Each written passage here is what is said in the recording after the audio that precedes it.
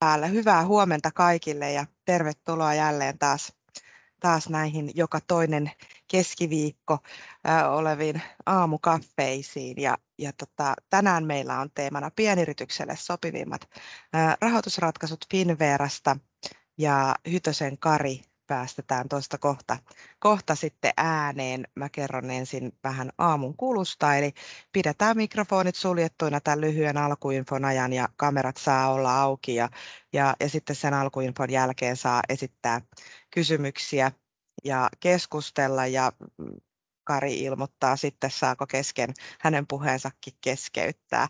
Ja tietenkin sitten kysymyksiä voi puheenvuoron aikana jättää tuonne chattiin. Ja tämä alkuinfon osuus tallennetaan ja nämä tallenteet julkaistaan tuolla yrityspalvelu TP-teema-sivulla siellä tapahtumien aineistoissa, eli pääsee sitten jälkikäteenkin näihin kiinni. Ja, ja tuota niin, niin, näillä lyhyellä puheilla niin päästetään Kari nyt sitten ääneen ja kertomaan tarkemmin Finveran rahoituspalveluista. Olepa hyvä. Kiitos Johanna ja vielä tosiaan kaikille osallistujille hyvää huomenta ja tervetuloa tähän tietoiskuun tai aamukaffitietoiskuun ja puhutaan vähän Finveran enemmän tuommoista yleistä asiaa Finverasta, koska valtaosa meidän asiakkaista on kuitenkin pienyrityksiä, mikroyrityksiä, merkittävässä määrin niin tota, soveltuvista rahoitusratkaisuista. Otan tuosta esityksen esiin ja toivon sitten kuittausta vielä, että näkyyhän se. Kyllähän se näkyy oikein hyvin. Hyvä juttu ja tota, pistän kameran kuitenkin varmuudeksi kiinni, ettei tule mitään tietoteknisiä ongelmia. Joo, ensinnäkin tota, ihan varmuudeksi tähän alkuun, kun, kun, kun en ole varma tunteeko kaikki Finveran, niin tota, lyhyesti tämmöistä yleistä. Ollaan tosiaan Suomen valtion sataprosenttisesti omistama erityisrahoitusyhtiö ja meille on annettu tehtäväksi auttaa suomalaisia yrityksiä menestymään ja vahvistamaan kilpailukykyään rahoituksen keinoin. Me teemme sitä rahoitustuotteilla. Mutta teemme sen sillä lailla yhteistyössä suomalaisten pankkien, vakuutuslaitosten ja muiden yritysrahoittajien kanssa. Me, me emme suoraan kilpaile kenenkään kaupallisen toimijan kanssa, vaan, vaan teemme sitä yhteistyöstä yhteistyökumppanina, mahdollistamme hankkeita toimimalla kaupallisten toimijoiden kanssa yhteistyötä oikeastaan niin, että sellaiset hankkeet, jotka eivät ilman Finveran mukanaoloa toteutuisi, eli yksinään kaupallinen rahoittaja ei yksin lähtisi hanketta rahoittamaan, mutta riskinjakajan ja rahoituskumppanin kanssa, tämmöisen neutraalin kumppanin kanssa kuitenkin haluaa sen hankkeen toteuttaa, niin tota, siinä me, meidän toiminta on niin kuin, niin kuin ytimessä. Me ollaan työ- ja elinkeinoministeriön ohjauksessa, eli elinkeinopoliittinen ohjaus tulee tuolta TEMMistä, mutta Finvera on julkinen osakeyhtiö, meillä on, meillä on tietysti niin kuin oma hallitus ja, ja kaikki ne guidelineit, ohjaus, mekanismit, mitkä tulee tuolta omistajalta, niin tota, meidän hallitus päättää sitten keinot, miten me niitä käytetään, millä instrumenteilla ja miten me otetaan sitä riskiä, mikä meille on annettu otettavaksi sitten tota yritysrahoituksessa. Kuitenkin siten, että meiltä edellytetään itsekannattavuutta, mikä tarkoittaa ylisuhdannekierron itsekannattavuutta, eli voimme välillä tehdä tappiota toiminnassa, mutta meidän pitää myös välillä tehdä voittoa tässä toiminnassa, että voidaan kattaa osa niistä luottotappioista, mitä meille syntyy tästä rahoitustoiminnasta ja riskinotosta, niin voidaan kattaa omin varoin ja vain osasta saadaan laittaa sitten omistajalle lasku, että voitteko osallistua tappioiden kattamiseen. Käytännössä 50-50 periaatteella tänä päivänä aika lailla. Siinä vähän tätä taustaa Finverasta ja, ja, ja mennään sitten itse tähän, tähän toimintaan. Me ollaan mukana yritystoiminnan eri vaiheissa rahoitustuottein. Me rahoitetaan paljon tuhansia aloittavia yrityksiä vuosittain sitten olemme erittäin innoissamme rahoitushankkeista, jossa yritykset parantaa kilpailukykyään joko tekemällä erilaisia investointeja, on ne sitten kone-laiteinvestointeja tai muuten kehittämishankkeita, investointeja henkilöstöön, osaamiseen, niin edelleen. Ja, ja erityisesti jos liiketoimintaa, ää, liiketoiminnan kasvua haetaan määrätietoisesti, niin ne on meille mitä mieluisimpia rahoitettavia kohteita. Toki liiketoiminnan kansainvälistyminen, siitä ehkä voidaan tuolla vähän myöhemmin muutama sana lisää. Ja erityisesti sitten myös vientihankkeet, viennin joko käynnistäminen tai viennin kasvattaminen rahoituksen eri tuottein niin, niin on, on meidän rahoituksen ytimessä. Ja lisäksi se, että yritykset vaihtaa omistajaa, kapulan vaihto, yrityskauppojen rahoittaminen, niin se on ollut vuosikausia meidän rahoitustoiminnan keskiössä. Ollaan, ollaan mukana lähes tuhannessa omistajanvaihdoksessa vuosittain Suomitasolla ja, ja, ja se on niin kuin iso määrä siihen nähden, mitä nyt parhaimman arvauksen mukaan Suomessa yrityskauppoja ja omistajanvaihdoksia tapahtuu, niin tota, ollaan aika merkittävässä osassa niissä mukana. Halutaan olla mukana edistämässä omistajanvaihdoksia. Sitten rahoituksen käyttötarkoituksen mukaan, jos ajatellaan, että mitä me voimme rahoittaa, minkälaisiin hankkeisiin me voidaan osallistua, niin aika paljon viime vuosina sekä tässä korona-aikana että nyt vielä sitten tota, tämänkin vuoden aikana rahoitus kohdistuu paljon käyttöpääomaan. Siellä on tarvittu tietysti kriisirahoitusta, mutta sitten tarvitaan myös tämmöistä positiivista käyttöpääomaa kasvun aikaansaamaa, tällä hetkellä osin valitettavasti hintojen nousun aikaansaamaa käyttöpääomatarvetta, mutta kuitenkin ja sitten myös varautumista varten, eli, eli kasvatetaan varastoja, kun saadaan tietyllä hintaa nyt tuotetta, niin on ihan, ihan semmoista niin kuin normaalia rahoitustoimintaa tuo käyttöpääoma. Sitten on toki niin kuin erilaiset investoinnit, niin kuin tuossa mainitsin, niin on ne sitten tuotannollisia investointeja tai muita investointeja kuitenkin siihen, että yritys kehittyy ja pitää liiketoiminnan kasvua ja kehittymistä niin kuin vie, vie eteenpäin, niin sen tyyppisiä rahoitusratkaisuja. Toki tuo kansainvälisten markkinoiden hakeminen, mistä mainitsin äsken, niin niin, niin voi olla esimerkiksi tämmöistä, että ostetaan tytär- tai osakkuusyhtiö tai perustetaan tytär- tai osakkuusyhtiö rajojen ulkopuolelle tai sitten tosiaan rakennetaan partneriverkostoa, on, on mahdollista osallistua tämän tyyppisten hankkeiden rahoittamiseen ja sitten noin vienti eri, eri muodoissaan viennin rahoitusratkaisut. Monesti ja yksinkertaisimmat ratkaisut on, että val, rahoitetaan valmistusaikasta tai myönnetään valmistusaikaista rahoitusta tai sitten kaupan jälkeistä rahoitusta, jos maksuaikaa on annettu, mutta kuitenkin tai sitten näitä ostajien vaatimia vakuuksia, esimerkiksi ennakkomaksun takaukset, joita käytännössä pankit myöntää pankkitakauksina ja me myönnetään niihin pankeille vastatakauksia sitten pankin riski, riskienhallinnan puolesta niin, ja vakuuden antajana, niin, niin, niin ihan tyypillisimmät ratkaisut on nämä. Toki sitten niin kuin vientiin liittyvät rahoitusratkaisut on myös saatavien turvaamista, ikään kuin luottovakuutustyyppistä toimintaa tai siihen liittyvää riskinottoa, että, että varmistetaan, että suomalainen viejä saa saatavat kaupasta tilanteessa kuin tilanteessa kotiutettua. Siihen liittyy sitten joko, joko meidän takaustuotteet tai sitten vientitakuut, jotka on sitten puhtaasti ulkomaista riskinottoa. Me täällä alueella emme tätä vientitakuutoimintaa suoraan tee, meidän suuryritysyksikkö ja meidän viennin asiantuntijat tekee tätä työtä. Meillä on enemmän näitä takauksia, mutta takauksillakin vientikauppaa kyllä pystytään rahoittamaan hyvin merkittävästi.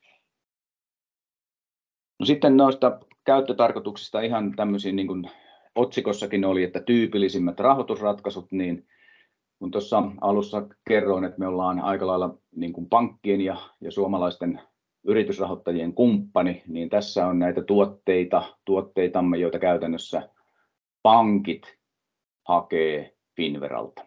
Eli asiakkaan ei tarvitse kääntyä Finveran puoleen, voi, niin kuin normaalistikin on hyvä ja suositeltava tapa toimia, on se, että silloin kun yrityksellä on rahoitustarve, niin yrittäjä kääntyy oman rahalaitoksensa puoleen tiedustella rahoitusta ja pankki voi hyvin arvioida siinä, että tarvitaanko A, vakuutta tai muuta riskinjakajaa tähän hankkeeseen, jolloin pankki voi kääntyä sitten Finveran puolelle.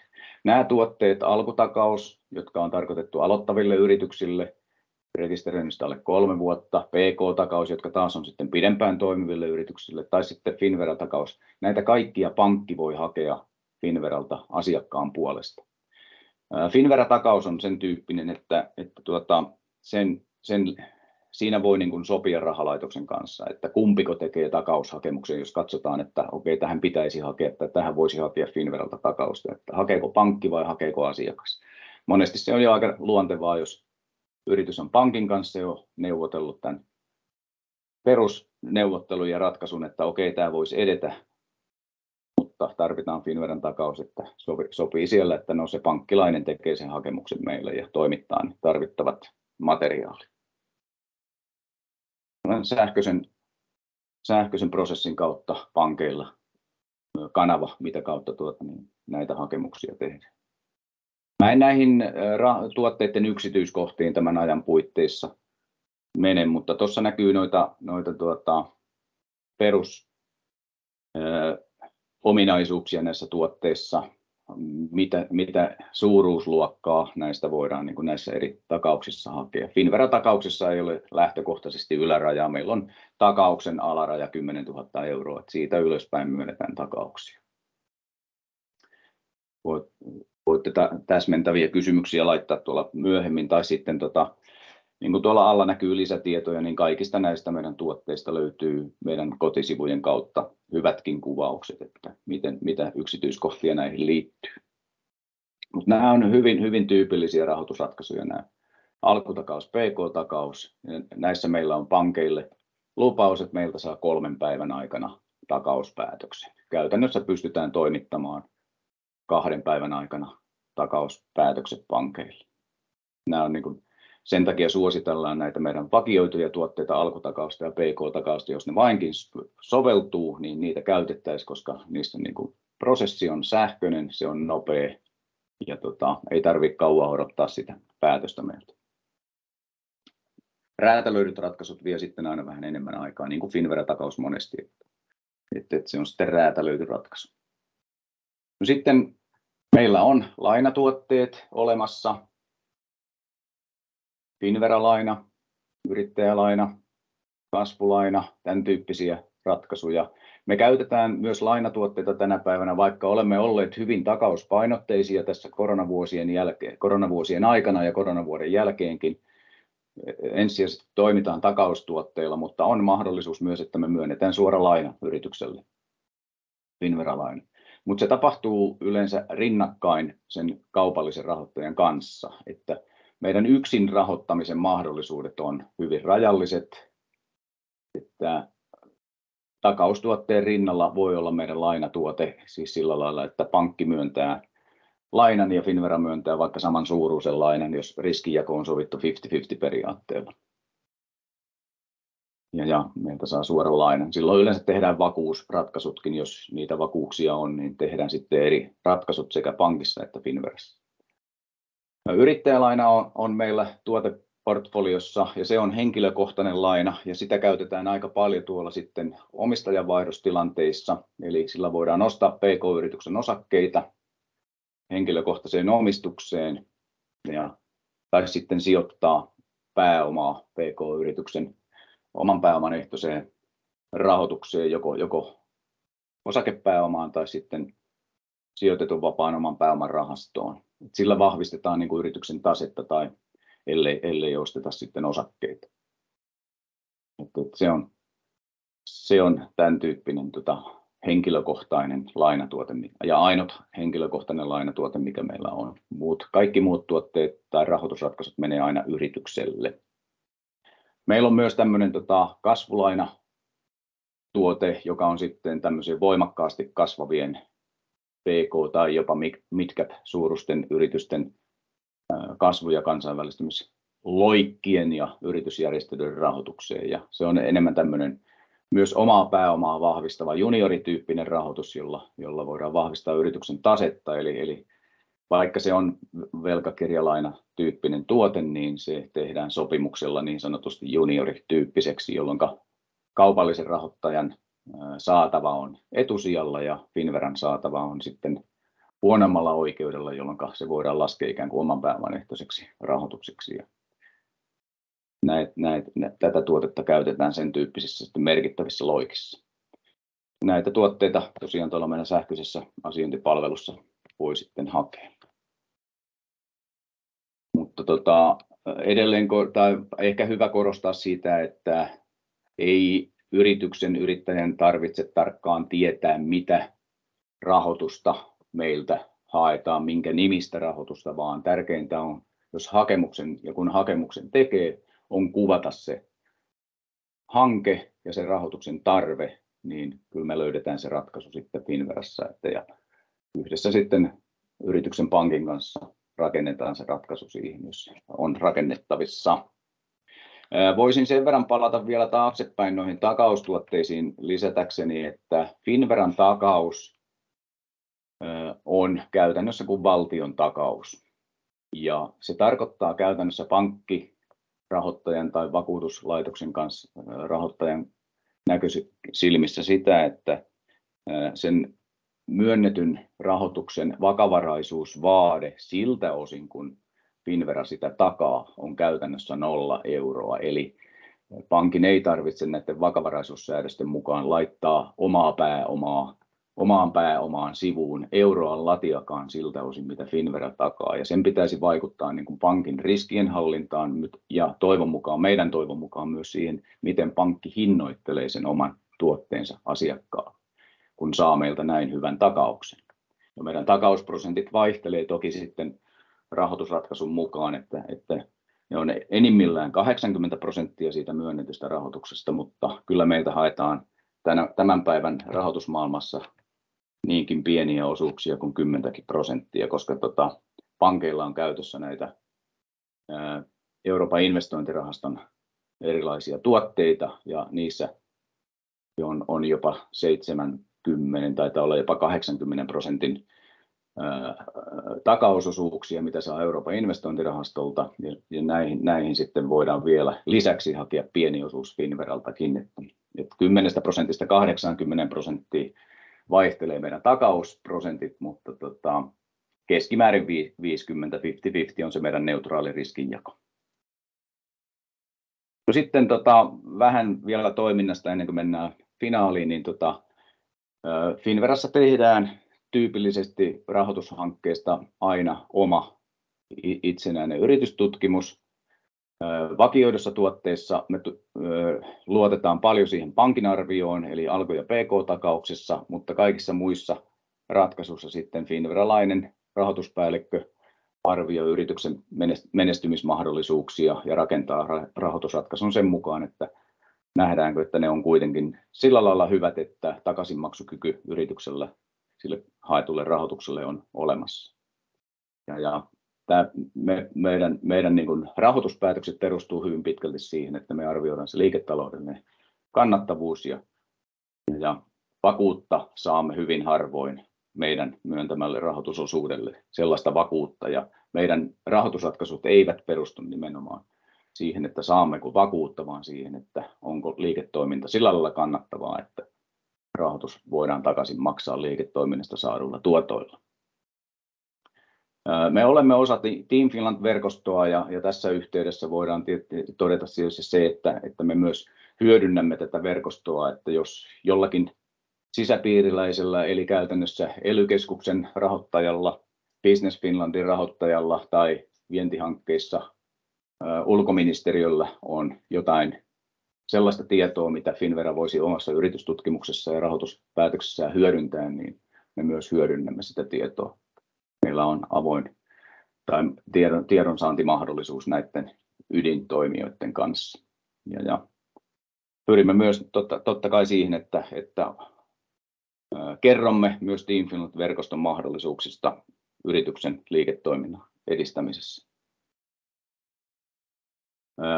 Loppunostona vielä se, minkä mainitsin tuossa näistä meidän tota, rahoituksen yritystoiminnan eri vaiheiden rahoituksesta että rahoitusratkaisuista on se, että, että erityisesti nämä omistajanvaihdokset on, on sellaisia, joita haluamme edistää. Ja, ja, ja totesinkin, että olemme paljon näissä omistajanvaihdosyrityskaupoissa mukana ja, ja haluamme niissä olla mukana aina kun nähdään mahdollisuus, että nyt tässä niin kuin syntyy järkevään hintaan, järkevää kauppaa ja, ja niin, että, että tota, yritystoiminnasta on saatavissa sellaista tuottoa jatkossakin, että sillä pystytään ne kauppaan tarvittavat rahoitukset pois maksamaan, niin tota, pyrimme aina näissä olemaan kyllä mukana sitten pankkien rinnalla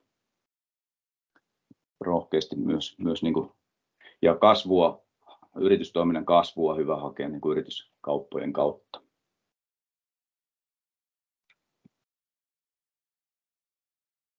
Meidät saa kiinni monella eri tapaa. Meidän palveluista saa tietoa finvera.fi-sivujen kautta, niin kuin alussa jo mainitsin, että näistä tuotetiedoista löytyy ja, meidän toiminnasta löytyy paljon tietoa meidän kotisivujen kautta. Peruskysymyksiä ja ratkaisuja saa hyvin meidän asiakaspalvelustamme soittamalla tuossa kuvassa näkyviin numeroihin, niin tota, siellä, sen, siellä voi keskustella hyvin, hyvin jo seikkaperäisestikin siitä, että miten, minkä, millä tavalla Finvera voi olla mukana yrityksen rahoitusratkaisuissa. Tota, sieltä saa tarvittaessa sitten, jos haluaa keskustella alueellisten henkilöiden kanssa, niin saa varmaan yhteystiedot myös sieltä sitten. Tai sieltä laitetaan meille soittopyyntö sitten, että nyt alueesi yritys haluaa vähän tarkemmin keskustella kanssanne.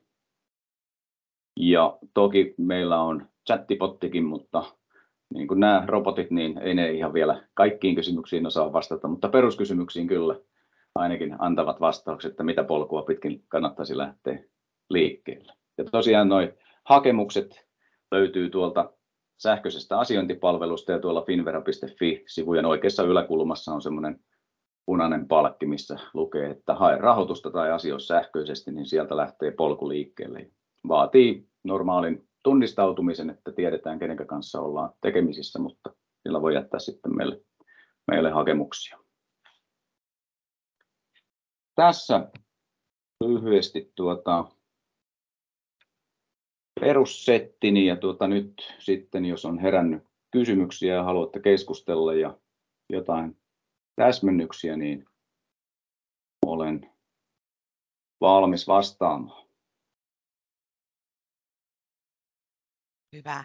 Kiitoksia Kari tiiviistä esityksestä ja hyvästä sellaisesta. Olisiko siellä nyt kysymyksiä? Mä voin vaikka laittaa tuon nauhoituksenkin tässä kohtaa pois, niin kiitellään tässä kohtaa ja, ja jatketaan keskustelua.